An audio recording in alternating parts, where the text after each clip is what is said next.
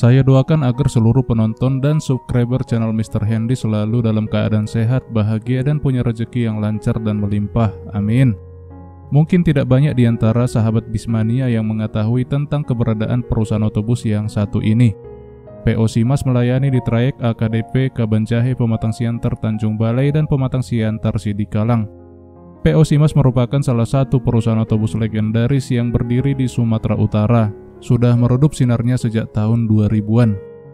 PO Simas berdiri sejak tahun 1960 dan sebenarnya masih eksis hingga hari ini.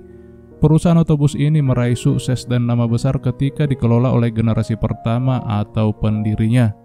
Begitu sang founder tutup usia, generasi kedua atau pewarisnya tidak serius dalam mengelola dan menggarap perusahaan yang pernah menggunakan puluhan armada bis Mercedes-Benz ini.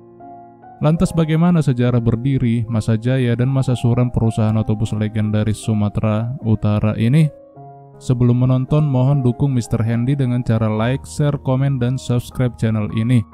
Masih banyak sejarah perusahaan otobus yang akan ditampilkan. Begitu juga dengan vlog ringan seputar perusahaan otobus asal Siantar seperti PMH, Intra, Eldivo, dan sebagainya.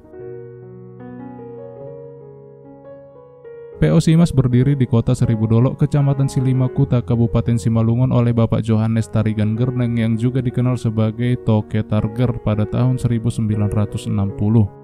PO Simas merupakan akronim Simalungun Atas yang menandakan daerah berdirinya usaha ini berada di dataran tinggi Kabupaten Simalungun yang berbatasan dengan Tanah Karo Simalem.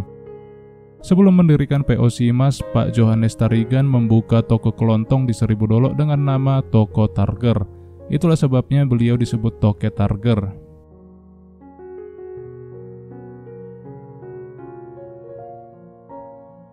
Tidak ada hubungan antara PO Simas dengan PO Putra Simas yang berdiri di Bengkulu. Sejarah PO Putra Simas sahabat bisa tonton di channel ini, linknya saya buat di kolom deskripsi. Ditarik dari silsilah atau keturunan, PO Putra Simas bukanlah suksesor atau penerus PO Simas. Namun dari hasil wawancara saya dengan salah satu keturunan Toke Targer yaitu Pak Salmen Tarigan, Pak Berlison Sinaga sudah meminta izin kepada beliau sebelum mendirikan PO Putra Simalungun Atas atau PO Putra Simas di Bengkulu. PO Simas dirintis dengan armada Chevrolet GMC Dodge Ford dan lain-lain bermesin bensin buatan Amerika Karoseri yang digunakan sama seperti kebanyakan bus Sumatera saat itu, seperti yang saya tunjukkan pada gambar ini modelnya. Setiap hari Selasa, Toke Targer akan berbelanja barang-barang dagangan ke kota Siantar. Khusus pada hari itu, beliau akan menjadi supir bus yang mana saja yang jadi trip menuju Siantar yang akan dia naiki. Supir aslinya akan jadi kernek. Begitu juga ketika mau pulang, beliau akan menyupiri bus PO Simas lagi, menggantikan posisi supir bus yang sedang bertugas supirnya akan jadi kena juga guys. Namun sejak era bus Mercedes-Benz, beliau tidak lagi melakukan kebiasaan itu. PO Simas mulai mengganti armada Chevrolet ke Mercedes-Benz, Mitsubishi Colt Diesel, dan Daihatsu Delta mengikuti tren saat itu sejak tahun 1978 dan sejak tahun 1990 seluruh armada bus PO Simas hanya terdiri dari bis besar Mercedes-Benz yang berkapasitas 60 bangku seat 32 dengan kelas ekonomi. Di awal kehadirannya, PO Simas berkompetisi dengan firma promosi yang sama-sama berasal dari kota Seribu Dolo.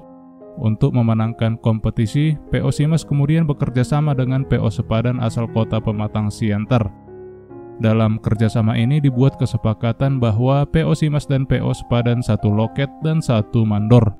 Dikarenakan saat itu kondisi jalan belum sebagus sekarang, maka setiap bus hanya melayani satu trip pulang pergi dalam sehari. Simas akan mengisi trip sejak pagi dari Kabanjahe menuju Siantar sampai bus sepadan yang dari Siantar tiba di Kabanjahe dan PO Sepadan akan mengisi trip sejak pagi menuju Kabanjahe dari Siantar sampai bus PO Simas yang dari Kabanjahe tiba di Siantar. Kerjasama ini sukses membuat firma promosi kehilangan pamornya, sehingga akhirnya tumbang dan menutup operasionalnya.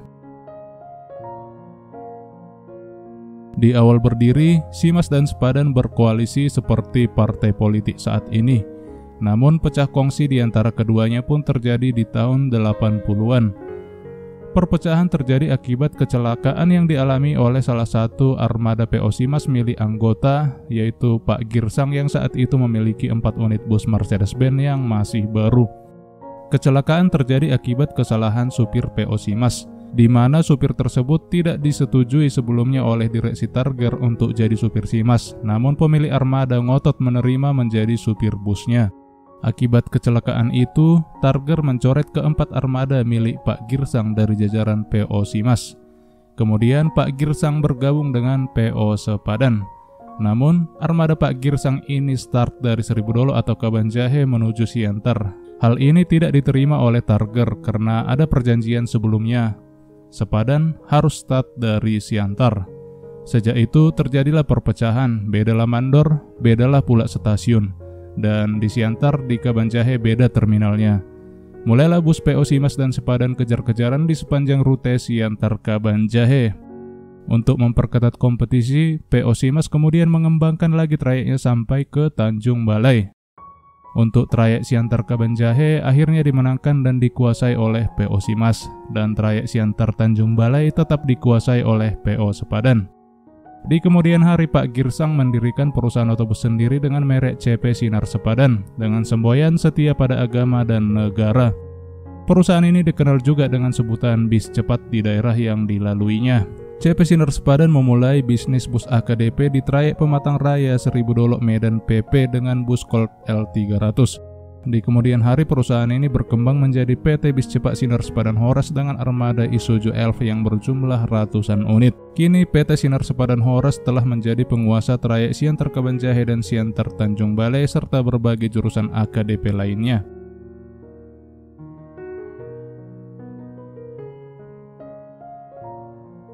Sejak tahun 1997, promosi hadir kembali di trayek Siantar Kabanjahe di bawah naungan manajemen Pai Maham Group, pengusaha kaya raya asal desa Haranggaul.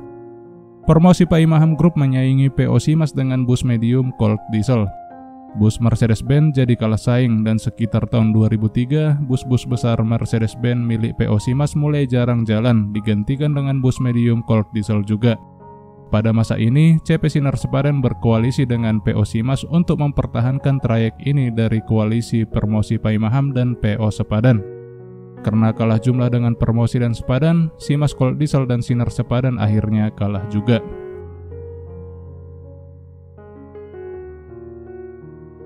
Terinspirasi dari kesuksesan KUPJ dan Karya Agung dengan armada bus kecilnya, pada tahun 2005 CP Sinar Sepadan membeli 4 unit bus Isuzu Elf 77 PS yang baru. Armada ini kemudian menjadi cikal bakal kesuksesan CP Sinar Sepadan yang terkenal dengan sebutan bis cepat di daerah ini. Dengan koalisi keduanya, pada tahun 2006 mereka berhasil menumbangkan kejayaan firma promosi Paimaham Group yang akhirnya bangkrut dan tutup. Namun setelah memenangkan pertarungan, PO Simas merasa dicurangi sehingga pecah kongsi lagi dengan Sinar Sepadan ini. PO Simas juga membeli banyak unit Isuzu Elf ini untuk menggempur pertahanan CP Sinar Sepadan. Tak mau kalah, Sinar Sepadan juga demikian, bahkan jumlahnya mencapai 200 unit bus dalam waktu yang sangat singkat. Karena kalah jumlah, PO Simas akhirnya bangkrut dan tutup pada tahun 2010. Tahun 2015, PO Simas hadir kembali di trayek Siantar Kabanjahe. Merek PO Simas diteruskan oleh Makaro Group. Konon katanya merek ini dikontrak atau disewa.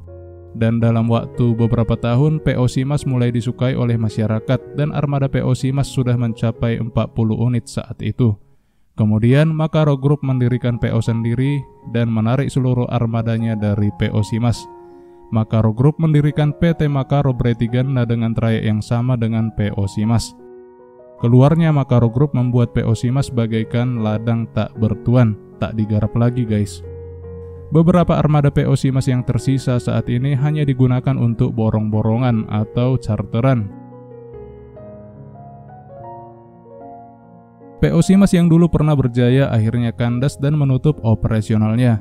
Kejayaan PO Simas tak mampu diteruskan oleh pewaris perusahaan ini karena sibuk dengan urusannya masing-masing. Dengan berakhirnya cerita ini, semoga menjadi awal yang baru bagi pengusaha PO Simas.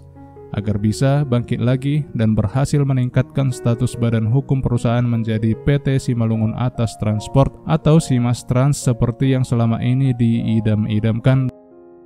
Demikian konten hari ini, Horas Majuah-Juah.